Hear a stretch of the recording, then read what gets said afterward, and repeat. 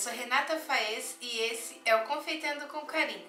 Hoje eu vou ensinar vocês a fazer um bolo super fácil com uma dica muito legal para quem quer fazer lembrancinha de aniversário, que é o bolo de leite ninho recheado de Nutella e ele já sai recheado direto do forno. Antes de começar a receita, eu quero avisar vocês que a lista de ingredientes fica aqui na descrição do vídeo fica abaixo do vídeo. Se você não encontrar, é só clicar na palavrinha mostrar mais, ok? Vamos lá então conferir essa delícia. Eu começo pela massa, acrescento aqui na minha tigela os ovos, o óleo, procuro usar um óleo sempre de qualidade, girassol, milho, açúcar, esse aqui que eu tô usando é o refinado normal, e vou dar uma leve misturadinha. Quem quiser usar o liquidificador, fica à vontade. Acrescento agora o leite e o leite em pó. Mexo novamente, muito simples de fazer, e acrescento agora a farinha de trigo. Quem quiser utilizar a farinha de arroz, pode utilizar que dá certo, tá? Fermento, vou misturar esse fermento em pó já na minha farinha de trigo para facilitar. Coloco todo de uma vez e mexo até incorporar completamente. Aqui já tá pronta a massa, ó. A sugestão que eu quero dar para vocês é essa marmitinha aqui descartável.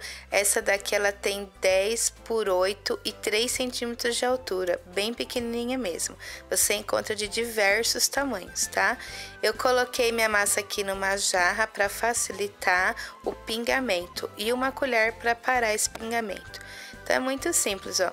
Coloco só metade dessa forminha, porque o bolo cresce e também vai uma cobertura, não pode chegar até a boca. E vou fazendo isso em todas as marmitinhas, que já coloquei em todas.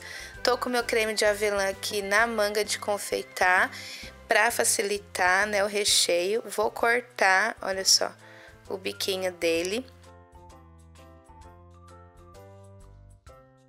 Eu tiro um pouquinho desse creme para começar introduzo na massa, ó, e aperto fazendo um zigue-zague. E assim eu vou recheando, tá? Quando eu terminei, eu limpo o bico com papel e faço isso em todos. Vou recheando, ó, apertando. Aqui todos já estão recheados, eu apoio numa assadeira para que eles não fiquem tombando no forno e vou levar agora no forno pré-aquecido 180 graus por 25 minutos. Isso para tamanhos pequenos, ok? Aqui já sou, eu vou deixar esfriar bem para fazer a cobertura. Para cobertura eu tenho aqui chocolate branco nobre, desse que a gente encontra no supermercado, Laca, Garoto ou profissional, tá? Acrescento creme de leite, tô usando de caixinha o HT, que é mais em conta. Se quiser usar de lata, pode usar com soro. Misturo bem e acrescento agora o leite em pó.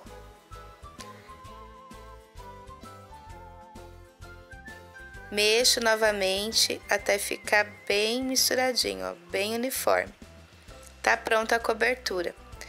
Pego aqui o meu bolinho, tá vendo que ele não assou até a boca, por isso que eu coloquei só a metade da forminha, para ele ficar baixinho, porque ainda vai essa cobertura. Tá, agora eu acrescento a cobertura, aliso bem para ficar bonito e por cima coloco umas raspinhas de chocolate para finalizar. Faço isso em todos, olha só aqui já estão todos cobertos e com a raspa de chocolate. E eu venho com a tampa sempre do lado do alumínio para baixo. Então essa parte do papelão fica para cima e assim você vai fechar todas as marmitinhas. A validade desse bolo é de 5 dias na geladeira e 3 meses congelado. Quero dar uma ideia para vocês, ó. Quem quiser fazer ele com o tema da festa, ó, imprime o papel e cola na parte de cima, tá? Nessa parte que tem o papelão, olha só. E aí você pode também fazer com adesivo ou mandar numa gráfica.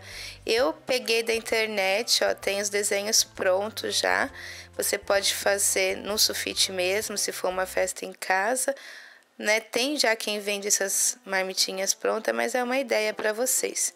Então eu vou colocar aqui da mesma maneira, ó, sempre o lado do alumínio para baixo em contato com o doce e fecho como eu fecho o outro. E assim eu faço todos. Tem gente que coloca a foto da criança aqui nesse quadradinho, aí você vai fazer o tema da festa e como você preferir. É só uma ideia.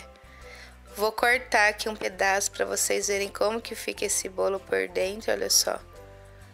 Fica já recheado, uma delícia, com cobertura e tudo. Muito gostoso, pessoal.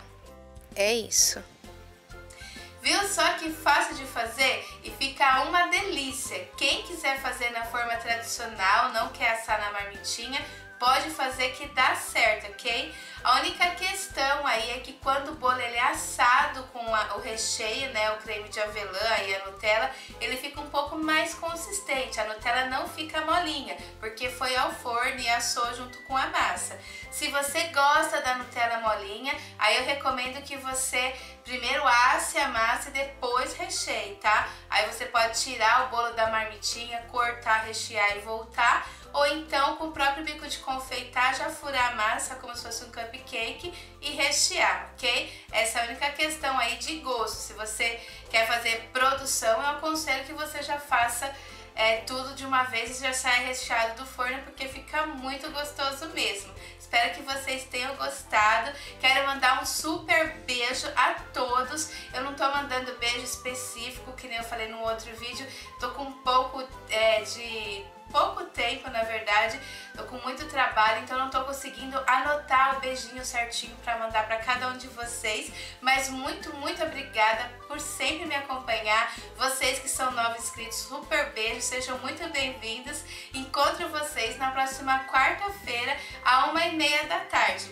Se você gostou desse vídeo, dá um curtir e compartilha com os amigos aí familiares para ajudar o canal. Você que ainda não se inscreveu, se inscreve clicando aí no canto da tela, dentro desse círculo que está aparecendo com a minha foto.